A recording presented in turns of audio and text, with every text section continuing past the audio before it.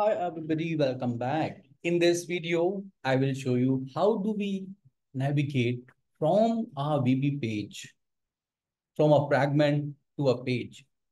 Why are we going to show? Because navigation is very, very uh, simple. But in fragment, when you create a fragment and let's suppose you in the fragment, you have some button and from that button, you want to navigate to a page. In fragment, there is no navigate action in the action chain. So there's a tricky part to navigate from a fragment to a page. Let's look at it and see how this can be done. So let me go to my VB screen and let me create a new application. Let's say test application and let's say finish. So when you create a application, you will see here, let me create a new application. Let's say web app and create. So here, if you go to the fragment, there's a one fragment which is created with name shell header. And in that shell header, we have uh, this sign out option. And this shell header is, is included in the page shell, which you can see here, shell header.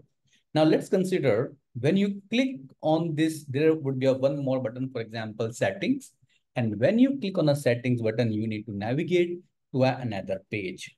So for let's do this step by step. First of all, let me add one more option called sign out. So if you go to the shell header and you see this uh, avatar, there you see this avatar is populated from, from application variable called avatar items. So let's go to a page application variable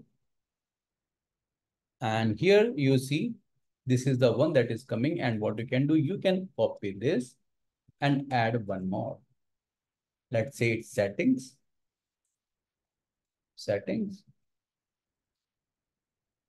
Let's say settings ID. And there's a icon class which is called settings.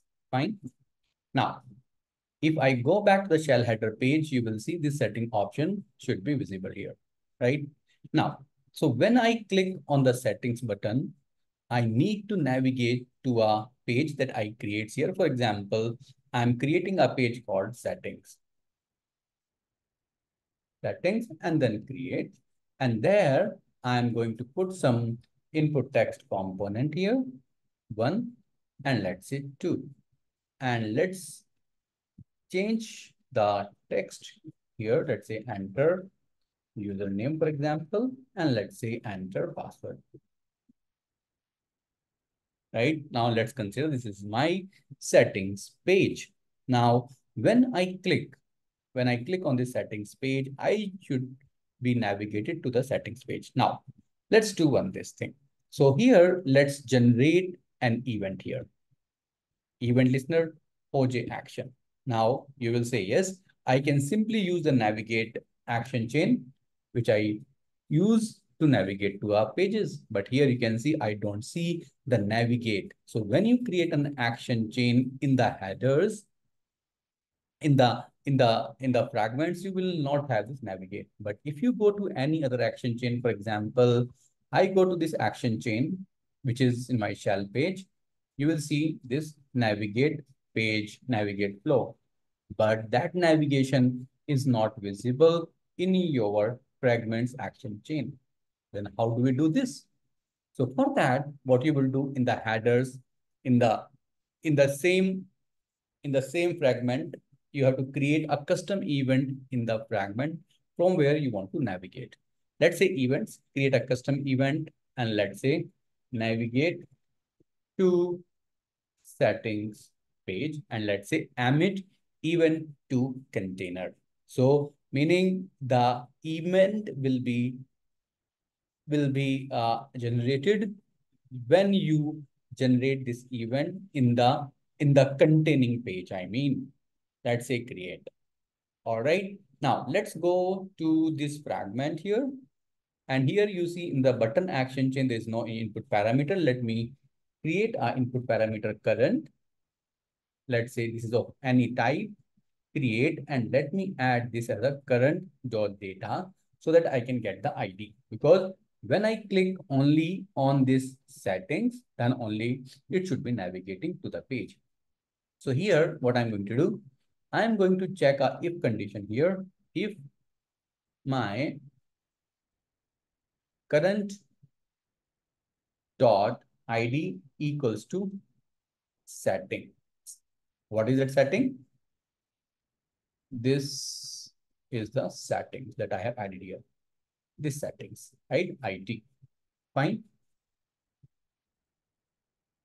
Then only I should be navigating to the settings page. So now what I'm going to do, I am going to say fire event and I'm going to fire that navigate to settings page.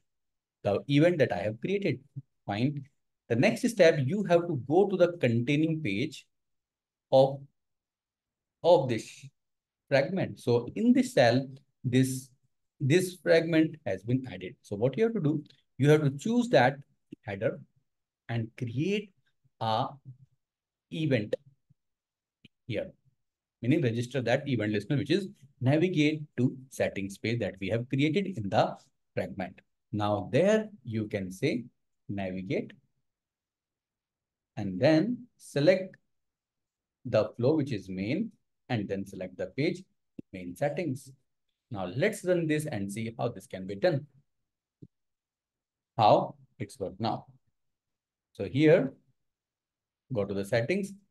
Now you are on the settings page. So this is how you can navigate uh, to another page from the fragments. This is the common problem that I have seen like developer raise this concern and they are not able to navigate. I hope you find this useful. Thank you. Bye-bye.